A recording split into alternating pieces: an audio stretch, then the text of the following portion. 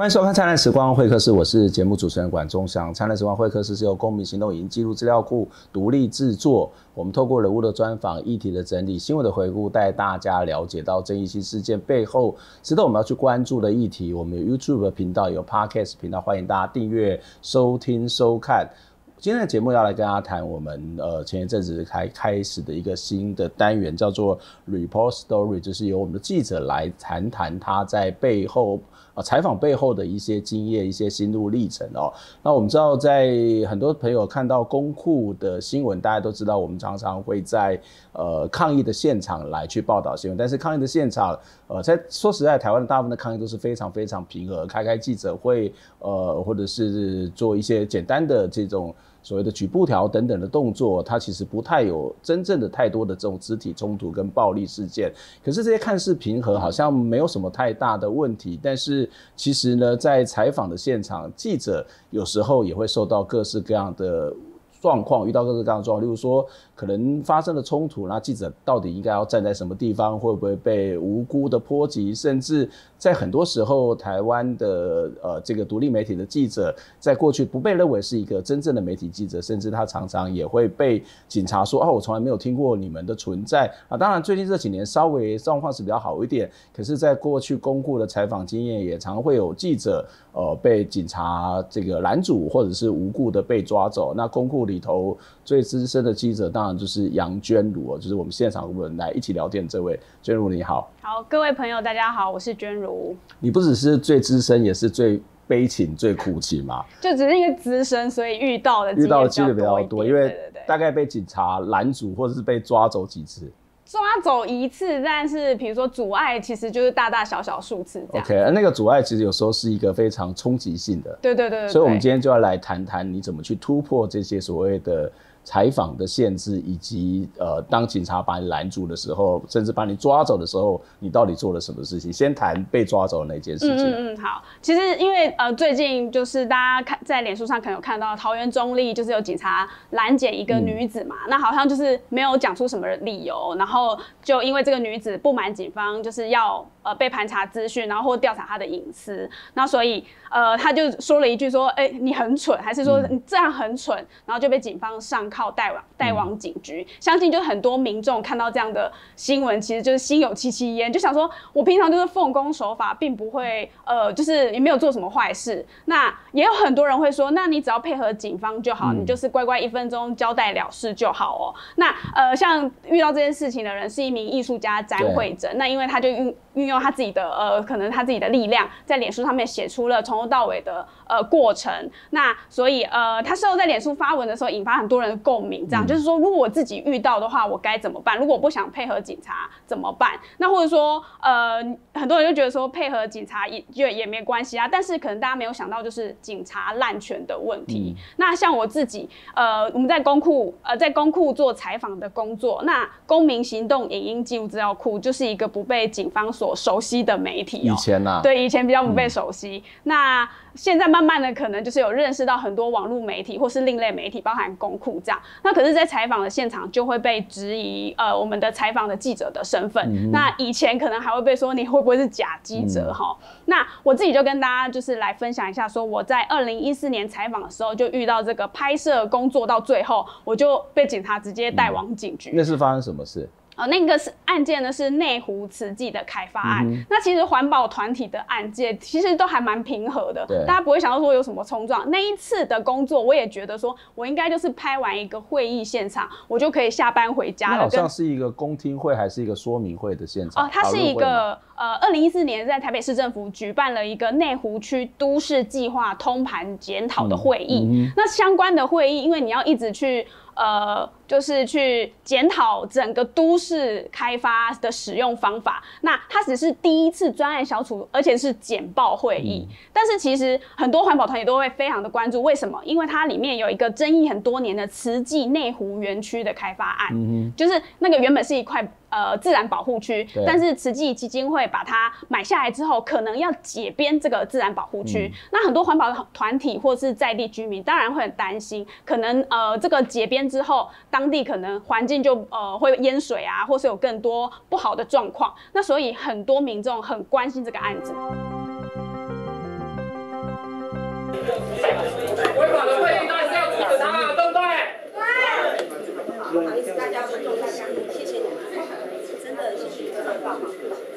对对啊，今今天如果会议不开，我们就到旁边席。对啊。我们没有干扰，现在议事还没开始嘛。我们是在跟主席。台北市政府不要开会议啊。这个这个议事可以进行吗？请大家到旁边。两天前的会议可以开吗？什么叫做两天前才开会，才开会议通知，这样可以开吗？为什么都没有人什么叫做专案小组会议？专案小组会不是公开会议吗？什么叫简报会议？我我也张在哪里？主席，你在接受吗？主席，有简报会议这样的法源吗？各位，呃，各位，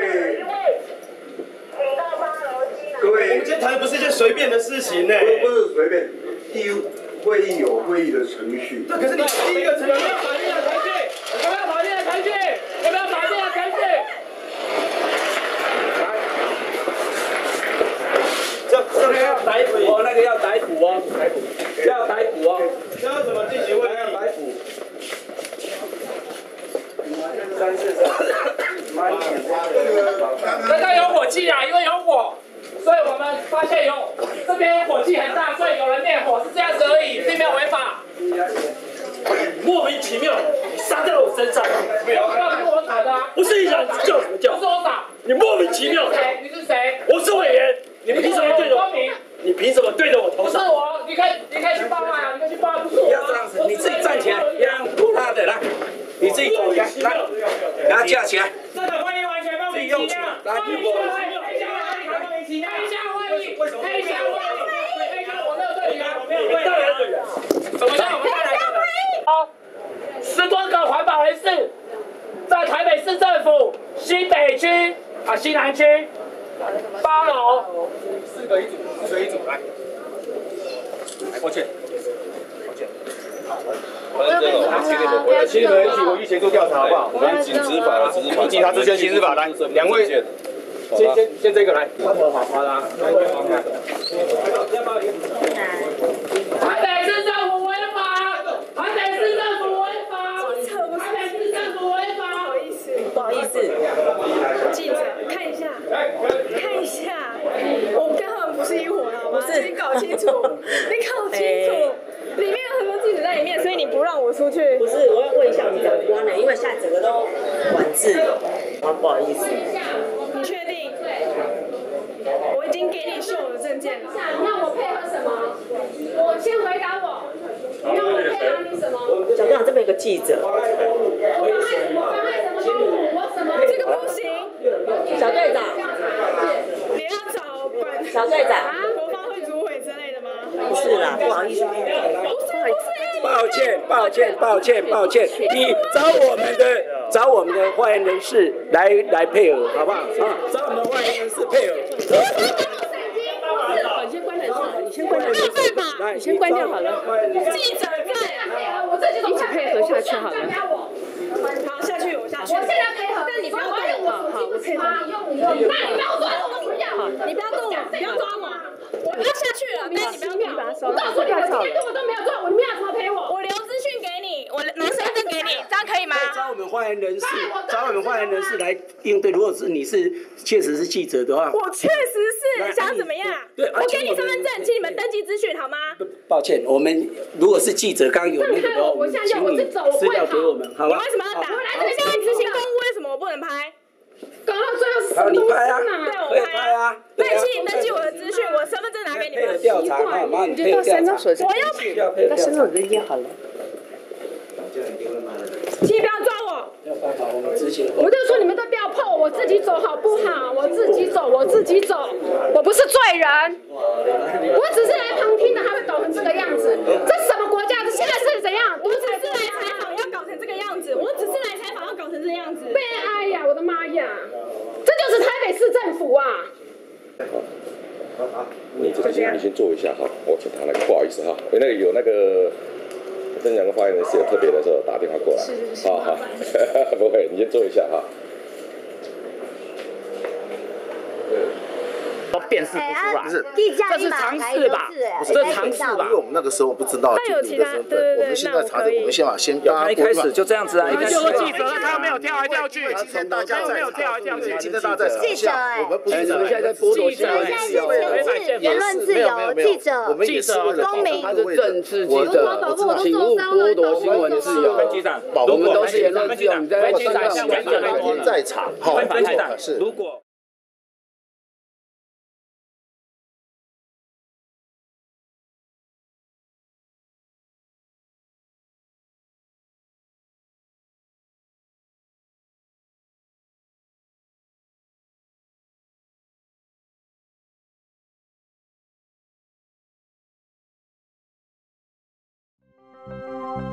北市政府在开这个通盘检讨计划的时候，却只在短短两天前的时候才上网公开这个会议的资讯。那很多民众当然就是急得跳脚啦！我这么关心这个案子，难道你是要黑箱通过吗？那所以很多民众知道了，那呃，其实在这个会议甚至还说，我不邀请陈情人或团体来到席旁听，也不提供你们发言登记。这个啊、看到就觉得说你是不是有什么阴谋？对，所以环保团体就觉得这好像要去限制他们去了解或者是表达意见。是的，是的，因为、呃，政府很多资讯应该是要应当公开的，尤其像这么一个都市计划通盘检讨跟土地有关的会议哦，那所以就有呃内湖保护区守护联盟，或是像当时的树党，或是当时青年占领政治等等，还有当地居民的团体里长都有到县长。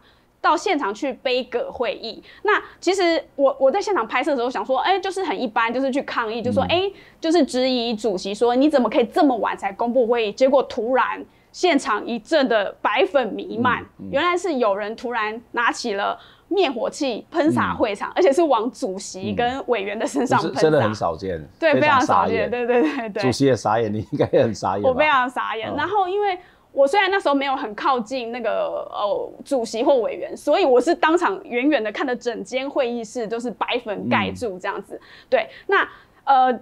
当时发生这样的事情，我马上觉得哇，是一个非常突发的案件，那我就赶快赶快记录现场。嗯那警方当然也觉得事情非常重大，在呃台北市政府的会议室里面突然发生这样的事情，当然是不能放过现场的民众，他们会认为这是一个很严重的事情。那所以他们当场就留置了这些环保团体、这些居民，留在当场大概两个小时之后，要调查他们的身份，但是。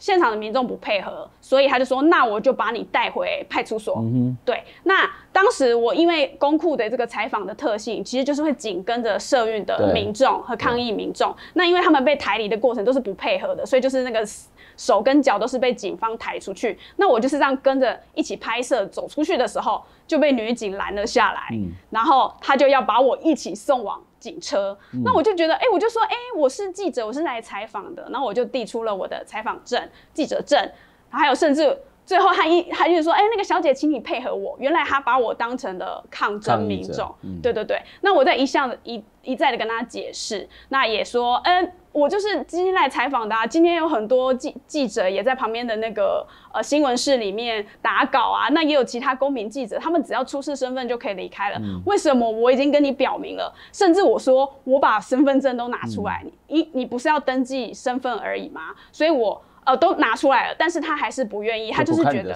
对他不看。然后他也不看我采访证，他就是不相信，所以他就是直接把我就说请小姐配合，就叫我上了警车。嗯那因为当时呃他们只针对我，他们可能觉得我看起来就是不像记者，所以我就想说。在几经的言论的，就是跟他争执之后，他还是不愿意。那我一切都有呃录影，就是存证下来。所以我想说，好，当下我还是先配合。那当下还是有先打电话给呃公库的其他记者，以及、呃我们关关老师也有就是收到回报，就是说我当时被带往警局。那再请呃记者还有关老师这边帮我再联系，看能我们派律师，师对对对，或是通知其他相关的团体，是不是可以先让我离开现场这样子？所以那时候你非常的心情是怎么样？就是我我我我们其实，在常常讲说一个摄影记者讲嘛，就是如果你今天照片拍的不够好，就是因为你站的不够近，所以我们常常会在一些抗争的现场、冲突的现场，就会紧贴着这些抗争者。这对我们在做报道人是理所当然，因为我们要记录真实，要记录当时的实况嘛。是可是你因为要去记录当时的实况，记录当时的真实，而被警察以为是抗争者一起带走。是那个时候你的感觉是什么呢？呃，那时就是警方，他是呃，因为有人拿灭火器喷洒，嗯所以他们先控制了一个就是树党的成员，的确就有一个男子在当场喷洒，那已经有。掌握了一个人，但是现场总共有大概包含我有二十个人，嗯。然后他们就是认为这些民众都必须要接受调查，所以他们依照了警察职权行使法，就是把我们所有人都带回了当时的信义分局的三张里派出所这样子。那我那时候呃几经的言论的争执，我当下有呃向警察反映，就是说，哎、我跟他们是不一样的，我有去强调了记记者的特权这一部分，说我跟抗争民众不一样，你是把我们两个搞混了，那我也根本就没有妨碍你们公务的部分，甚至我连我的记者证跟采访证我都要交给你们，但是你们都不听我的这个内容，也没有要登记，也没有要调查我，那只是要把我留置在警局，就是非常不能理解哦。那我差不多就是从，因为那个会议是下午大概三点，那在台北市政府里面耗了两个小时之后，五点下午五点就是一直留置到派出所到晚上八点，其实差不多快三个小时。那警方在留置民众没有理由或是正在调查理由的时候，法定的时时间就是三小时。对，所以他大概留了三小时之后，那当时也有透过新闻记者协会，就是老师这边有去联系那个信义分局长李德威，他们才说哦。娟如，对对对，你是记者这样子，那也没有登记我的资料，也没有问话，当时他说你可以走了，你可以走了，这个非常莫名其妙的状况。，错但是在警局里面，警局里的警察都不让我离开，嗯他只说，哎、你也可以去救这个。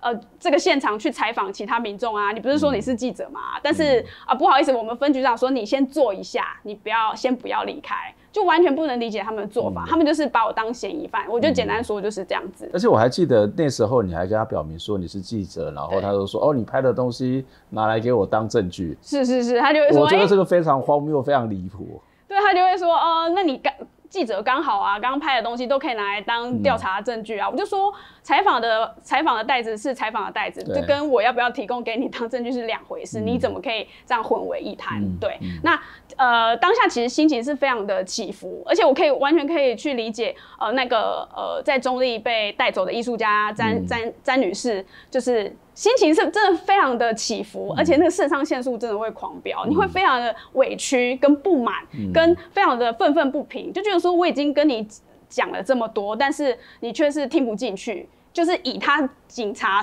的权利认为说我叫你留下来，你就该留下来，反正最后没事的，就是就没事了，这样。不过你愤愤不平，最愤愤不平的表现应该不会是在新义分局这一次。我如果没有记错，应该是士林王家采访那一次，也是受到拦阻，然后哇对，我后来看那个回看带超凶的。对对对对，就是到底发生什么事？跟很多民众遇到的时候都会一样，就会觉得受到冤屈的时候，第一次会特别说，你会会非常高分贝的去质疑警察，说你怎么可以这样对待我？嗯那所以我第一次其实被阻碍的时候，呃，是在士林王家的都更案。对，什么什么？公民行动已经进入仓库啊！再讲一次。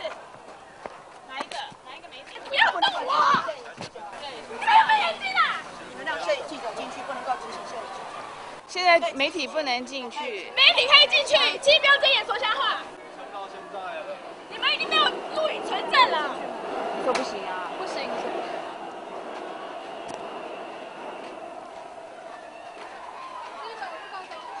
好不好？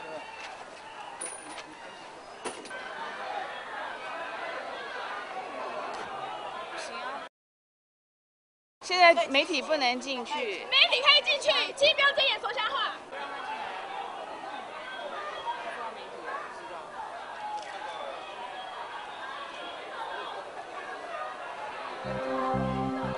那个都更案因为是呃全台知名的，大家会把它污名化为钉子户的案子。那时候是台北市政府第一次代拆的民宅这样子，那所以有引发很多声援的呃学生呃前去支援这样子。那那时候我在现场拍摄的时候，就有两名女警一样，就是把我当成就是声援的学生，然后两个一一一人一边把我拉到外面，直接脱离这样子。那我可能只能说我的力气太小了，我真的没法没办法抵抗，所以我就被带到门外之后，我是高分贝的，就是说你怎么可以这样对我？然后甚至也是不输于那个詹女士在那边说出言不逊的状况。那两名女女女女警，也就是觉得说，哎，我的工作是把你带出来，她也不管我怎么样哈。那是因为刚好那时候外面的立委有美女，当时的立委有美女在外面，她就是对着女警说，哎，她就是记者啊，你为什么抓他？所以从这个事件来看，说女警她不认识公库，她就是不认识一些她不认识的媒体，她就先把你带出来，她先做了再说。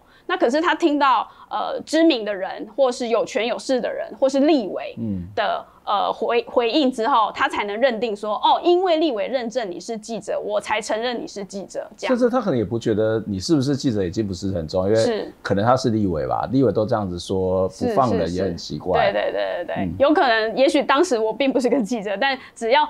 受到立委的一个肯认，女警就是听立委的话，但她她不愿意就听一个她不认识的或者她想排除的人的话，这样。嗯，不过我想这有一部分是除了这个警察执法的程序跟态度或者是方式之外，另外一部分可能是。在当时，这个台湾的所谓的另类媒体、独立媒体、公公公民媒体，这个慢慢的开始发达，很多人都不知道这是一个什么样的媒体。再加上我们很多的报道，事实上跟抗争者是比较贴近的，比较接近。不管是在一些观念也好，或者是在采访的时候，也会从他们角度去报道问题，所以很自然让他们，即使不是这些执法的方式跟态度，也可能造成他们有这种反应，因为。呃，你们就是一伙的，或者是你可能会把这些抗争的过程报道出去，对对他们未必是有利的。是是，有可能因为在过程当中，我会就是全程的，呃，对警方可能来说就是我对他们搜证，但其实我这是全程记录跟自保。那我觉得这一点其实不管是记者，其实一般民众都是。现在可能大家会去质疑说，哎。呃，我被盘查了，我被拦查了，然后呃，我我不我不认同警方的理由，所以我拿起手机收证。可是警方会说，哎，你不准拍我，我有肖像权。但其实要跟各位朋友是说，呃，这个警方在执行公务的时候是没有肖像权可言的，因为他公务是可以受检视的。那他自己也有密录器嘛，那总不能说以他的密录器为准，他一定有可能在关键时刻，大家可能就认为，哎，不小心关掉。但如果我们自己用手机做自保，其实对于之后，呃，我们当下在盘查的时候，也可以对警方是提出异议的理由。嗯那这个警方其实依照警执法，应该是要可以写下。异议书的要记录异议书，那其实这个记录影像的记录都是为了让你可以提出好的异议的内容，对，就是双方是平等的，而不是因为警方有一个公权力就可以这样子是无限制的滥权压制人民。我想，呃，不管是警方也好，或者是这种抗争也好，抗争者也好。都是在做某种的公共服务，或者他认为的公共服务，他在做某种的公共事务的参与。那从事公共事务的人被公共监督、被公共检视，也都是理所当然的。啊，当然这是可能看起来是发生在过去的事情，但是最近的采访，警察对于这些独立媒体或另类媒体的态度有比较好吗？或者还是不是还会发生类似的事情呢？我们先休息一下。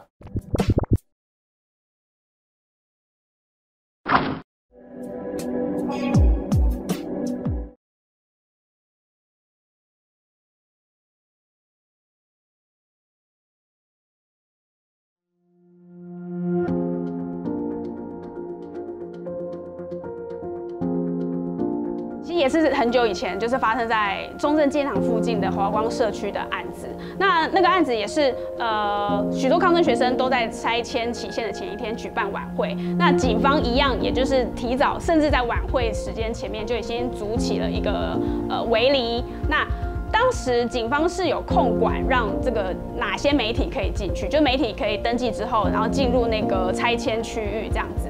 但是呢，因为以前就是我刚刚有说，公库是比较不被警方所认识的媒体，那结果呢，我们在换证的时候就被质疑了，说，哎，这个是没有听过的媒体这样子，所以说，哎，请你们等一下这样，这实际上就是不让我们进去。那其实当时，呃，还有那时候还存在的台湾立报。哦，就是其他媒体的同业，他们都有说，哎，这是我们同业啊，为什么不能进去？但是警方就是不听这一套，对。那当下也是因为我们，呃，也是赶紧在通知，呃，新闻记者协会等等那边来去向警局那边证明说，呃，好像也是由协会这边提供一个媒体的名单，让这个分局这边可以去说，哦，来由协会认定说这几个媒体是可以进去的。那当下我们还是觉得由协会来认定哪些是媒体是有问题的。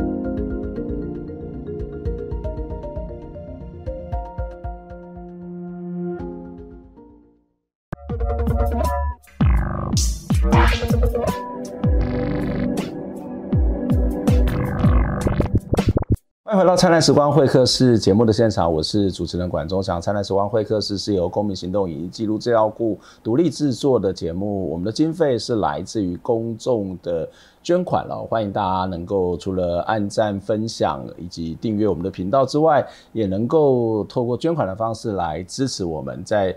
呃，我们的节目的荧幕上面有 Q R code，或者是你是听 Podcast 的朋友，在我们的这个说明栏当中也可以看得到我们捐捐款的资讯哦。那有大家的支持，我们才能够走得更长、更远、更好。接下来回来谈的是我们的非常有趣的单元，就是 Report Story，就是由我们的公库的记者来谈他自己采访的经验。在现场跟我们一起聊天的是杨娟如。各位朋友，大家好，我是娟如。呃，娟如其实是刚好谈到在台在公库里面算是一个。资深并苦情的记者，因为他常常受到警察的拦阻，所以刚刚有谈到曾经在采访内服实际开发案的时候。呃，被带到警察局采访士林王家的时候，也被警察抬出来。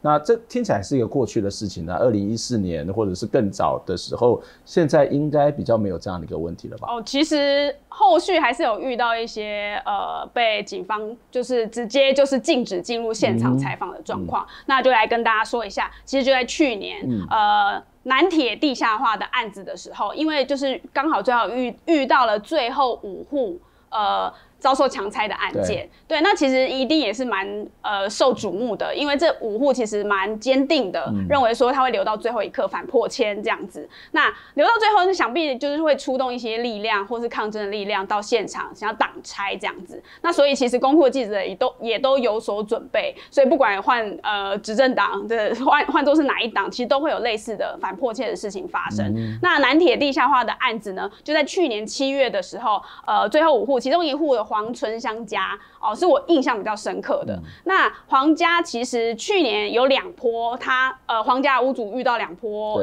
呃挡拆的期限。那呃第一个是七月，第二个是十月。因为七月的时候就在这个警方围堵他们家围城的压力之下，他签下了自愿拆迁同意书。对，那十月的时候，他就撑到十月之后，还是遇到挡拆了这样子，呃，遇到拆迁了。那他自己家其实是个半拆户，也就是说他们家只被征收一半。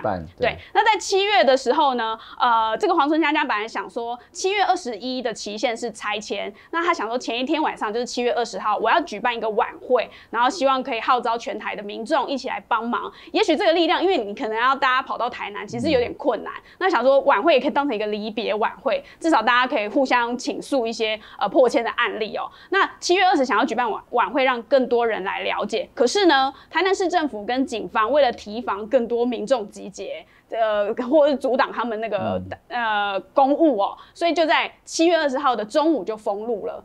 二十一号才拆，可是二十号中午就封路。那封路之后呢？像呃呃公库，像我自己，还有一些公司的记者或者其他的公民记者，其实我们收到那个晚会的时间，就想说，哎，晚上到就好。这时候到了晚会时间到场是，已经没有办法进入皇家了。所以他是把群众跟记者是围在外头。对对对对，但是其实还有其他媒体呢，其实已经提早一天，就是七月二十或七月十九号就已经提早到皇家那边做呃专题报道或深度报道这样。没想到二十号封封路的时候，所以也就是仅存的两三家媒体就直接住在皇家里面，但是他们现场警方是说只出不进，嗯，所以他们就一直只能待在皇家里面，甚至也不能出外买东西，只要出去了就不能进去了。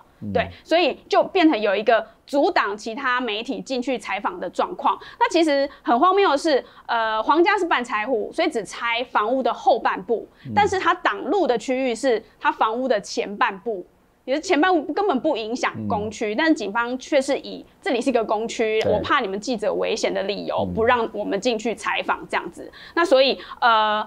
呃，他们只限皇家人可以凭证件出入，但其他记者都不行。那其实我们有据理力争，那其实还有台南市政府的新闻处的科员都有到场来关切。但是我们所有的媒体，在皇家里面的媒体，在封锁区外的媒体，通通都一起向官员来说，哎，能不能放行媒体进去采访？甚至有沟通协调说，只要你你可以让警察带我们进去拍摄十分钟也可以，但是。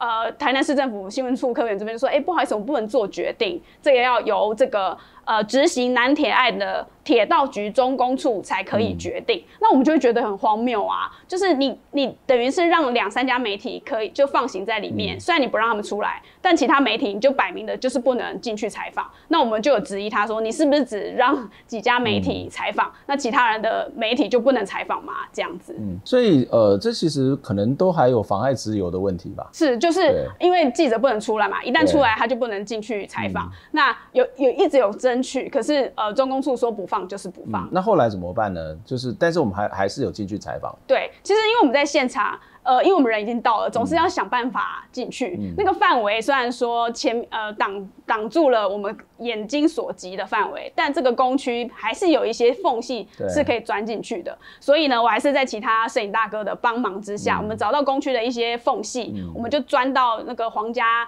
铁道处相关的呃工区里面，再进到他们家里面。那这时候就是你只只能提防相关人的耳目。那当我们成功进入皇家之后，他也就不能限缩我们，总不能再叫警察把我们拉出来这样。所以当下只能想尽办法到新闻现场。不过这这其实是在采访时候常常必须要用的一些方法，因为我们要去报道真实，我们要记录那个当下，所以呃，虽然警察拦阻，我们在这个安全跟不违法的情况底下，我们还是要找到一些方法去去做拍摄，甚至某种程度为了这种公共利益违法。说不定还是这个社会有一些不同的评价，对，这其实工会也不是第一次这样子找到这种漏洞钻进去采访吧，其实也是很久以前，就是发生在中正纪念堂附近的华光社区的案子。那那个案子也是呃，许多抗争学生都在拆迁期限的前一天举办晚会。那警方一样，也就是提早，甚至在晚会时间前面就已经组起了一个呃围篱。那当时警方是有控管，让这个哪些媒体可以进去，就媒体可以登记之后，然后进入那个拆迁区域这样子。但是呢，因为以前就是我刚刚有说，公库是比较不被警方所认识的媒体，那结果呢，我们在换证的时候就被质疑了，说，哎、这个是没有听过的媒体这样子，所以说，哎、请你们等一下这样。这实际上就是不让我们进去。那其实当时呃还有那时候还存在的台湾立报，哦、就是其他媒体的同业。他们都有说，哎、这是我们同业啊，为什么不能进去？但是警方就是不听这一套。对，那当下也是因为我们呃也是赶紧在通知呃新闻记者协会等等那边来去向警局那边证明说，呃好像也是由协会这边提供一个媒体的名单，让这个分局这边可以去说，哦，来由协会认定说这几个媒体是可以进去的。那当下我们还是觉得由协会来认定哪些是媒体是有问题的。但不过当时呃为了妥协，能赶快进到采访现场，还是就先赶紧进入了那个围篱。但是一的确一开始是被警方认为说，哎、我不认识你们，所以我不能让你们进去这样。嗯，在这样的一个过程当中，不管是从刚刚谈到的这个慈济内湖开发案，或是呃现在谈到华光社区，或者是更近一点的南铁的这个阻挡记者采访这件事情，这一路以来你怎么去看待记者跟警察的关系，或者是你自己在心情上面还会像以前这么的愤怒，或者是这么的觉得你这样不行，然后要想要骂他吧？我真的觉得每次其实就由最近的这个拦截案件，我觉得除了要去了解这些警察职权行使法的内容以外，真的觉得知道自己的修养也要好好的培养一下，因为有时候真的会过于气愤。不过有时候他就是做的不对，我觉得凶一点也是应该的啊、对，就是因为太气愤了，无法冷静的去面对，这时候其实会冷静面对是很重要的。对对，会遇到警方相应的挑衅，他们可能会说：“小姐，小姐，请你冷静一点。你有时候听到这句话，你会更无法冷静。但是这样子感觉是你错。对对对，他常常会，其实警方偶尔也会用一些很激动的肢体来。呃，攻击你，但他嘴巴却是说：“哎、小姐，请你冷静。那这时候，如果呃，如果你没有录影的话，其实你看不到你跟警方双方的那个状况是怎么样。尤其是像这次拦检的这个詹女士，她其实甚至被警方是大外哥，就是直接撂倒在地上，压在地上，然后上铐带走这样。那这个没有被拍摄下来，其实是你看不到的。那如果你只听警方的一面之词，说：“哎、那个呃，小姐，请冷静”的话，对，那所以我会觉得说，呃。呃，之前发生过的案件，我觉得一直到后面，我有稍微觉得说，哎、应该要多跟警方去协调跟沟通，有礼貌性的去询问他，呃，您是依照警执法哪一条理由来盘查，或是来调查等等，都是呃可以训练的，或平常应该可以多多去去思考怎么样去应对。其实很简单，就像。呃骑机车常会遇到那个酒测拦检。嗯，对，其实我最近就在想，常常会有一根吹气的棒子要来验你的酒精浓度。对，那其实现在疫情期间，那个酒那个棒子到底有没有？消毒，嗯，其实让很多人轮番的那个吹过，让验验酒有了有那个有在换啦，真的吗？对。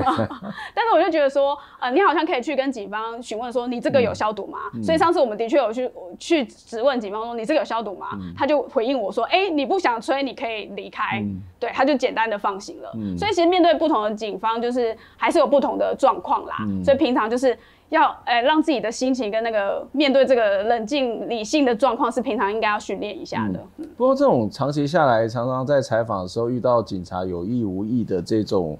拦阻，那当然你可能会发展出一套应对的方法，例如说刚刚谈到冷静的去面对这些问题，找到一些解决的方法。但是也有很可能因此而产生了某种的寒蝉效应、自我设限，是说好啦，这多一事不如少一事，那我就不要去争取，我跟他相安无事，我能够采访到的东西做好就好了，就不要再去做采访。会有这样的一种心情，或是这样的一种自我设限吗？呃，在公库的话，其实有很多会遇到是社运的突袭的现场，就是呃有一些生育团体想要升高手段，他会用秘密行动的方式，他没有公开发采访通知，那他只会告诉几个比较友善的媒体。那我们接受，我们当然不一定会去，我们会看状况嘛。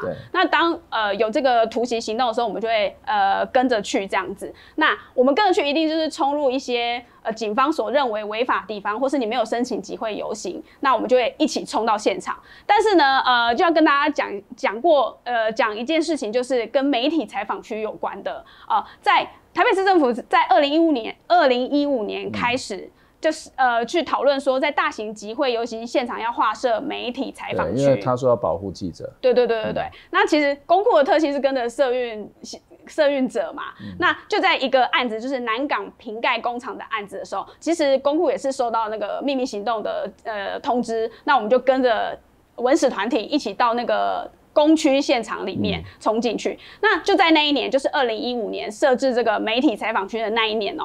那那时候台北市警局是认为说，像那个三一八太阳花或者是三二四的行政院的占领行动，所以是说，哎，执行勤务上跟记者有一些呃状况，所以就想说，我们定定一个媒体采访区，那你们记者就配合我们嘛，说要保护记者哦。但是我们发现这个案子就很有。在南港瓶盖工厂的时候，就有很明显的寒蝉效应。就我跟着文史团体一起进去，可是后来才到的主流媒体，他们其实在远远的南港工厂的门口拍摄。他们不敢任意的进来，甚至警方后来来到的时候就拉起了两道封锁线。那这个封锁线也让那个主流媒体就是呃小心翼翼的走进来，说：“哎，我们可以拍摄吗？”他们也不敢轻易的越过封锁线。可是当时我跟一些其他的媒体是跟文史团体一起就站在工区里面，就是任意的走动。嗯。可是我们就看着封锁线外有好几家呃两三家的主流媒体就是在外面采访。就是形成一个比较荒谬的状况，他们还是不敢走进来。对，所以在当时这个南港瓶盖工厂的案子，就很明显看到，呃，主流媒体有因为这个采访区的设置，就乖乖在那边让呃拍摄仅有的画面，但是我们在里面就可以拍摄到更多的画面，这样子。在这样的一个一连串的过程当中，你自己在现场采访，然后特别是一个。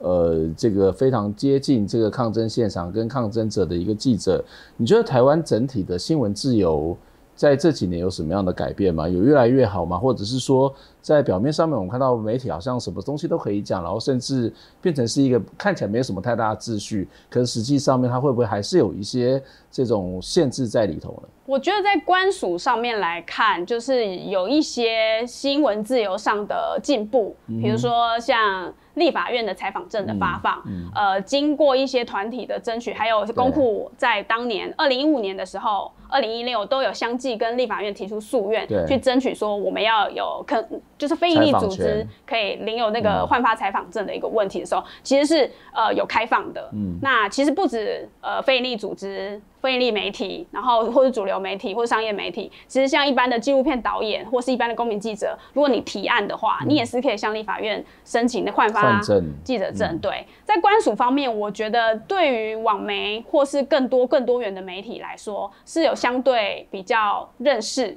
跟愿意进入官署，但是只是进入官署的部分，比如说环保署，比如说营建署，但营建署也有呃，就是。采访权不一的问题，就是比如说要根据主席的意见或是委员的意见才能决定要不要放行。但是近几年来看是慢慢，我觉得稍微好一点点。可是如果是在官署以外的一个公共区域的采访权，那是非常的不一定。嗯，对，那。不管是像前几年，我还曾经也是被带警察带带到警察局。那去年南铁案等等的，甚至就是阻挡你，直接不让你进去。嗯，就是时好时坏。但是坏的时候状况是非常的不好的，就是直接阻挡你不让你采访，但是却呃不见很多人去谴责我们的政府啊不让媒体进去采访这样子。我想这是一个非常重要的一个观察，就是我们看到在。这个整个台湾的新闻自由都是一个不断在往上提升，就是排名也是越来越前面。可是有时候那个真正的控制或限制，其实是在关键时刻，是在某些的细节当中，在这个细节里面，常常会去限制记者采访。为什么？因为有权利的人最怕被记录，而我们的工作就是要去记录这些有权利的人以及这些抗争的现场。那在这个过程当中，真的非常非常不容易。虽然娟如是资深又苦勤的人，但是也为我们台湾社会立下了这个呃拍摄了非常非常多重要的历史的关键时刻。今天非常谢谢娟如来接受我们的访问，我们下礼拜再会，拜拜，拜拜。